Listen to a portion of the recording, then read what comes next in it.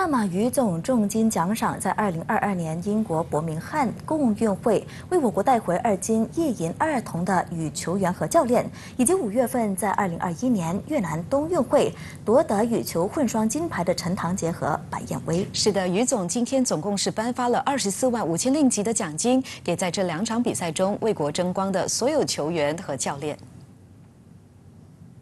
The 2022 Birmingham Commonwealth Games success bodes well as we gear up for the remainder of the year. That includes the World Championship from 22nd to 28 August in Tokyo.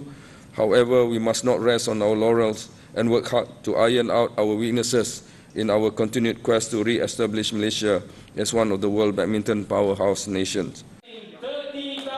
大马羽总会长丹斯里诺扎今天主持了羽总理事会议后，在羽球学院亲自把奖金交到了这批球员的手上。在英国伯明翰共运会混合团体赛决赛成功复仇，以三比一击退印度，从印度手中重夺羽毛球混合团体赛金牌的十名球员：男单黄志勇、女单吴景薇、男双苏伟毅和谢定峰、女双陈康乐和蒂娜、混双陈建明和赖佩君、陈炳顺和谢怡倩。羽总单打教教练总监黄宗翰、双打教练雷西以及教练叶成旺和云天豪，一共是获得十四万令吉的奖励。一举摘下女双金牌的陈康乐和蒂娜也获得了最高五万令吉的奖金。男单银牌得主黄志勇获得一万令吉，而男双铜牌苏伟毅和谢定峰，以及混双铜牌陈建明和赖佩君，则个别获得七千五百令吉。至于在越南冬运会夺下混双金牌的陈唐杰和白燕威，也获得三万令吉奖励。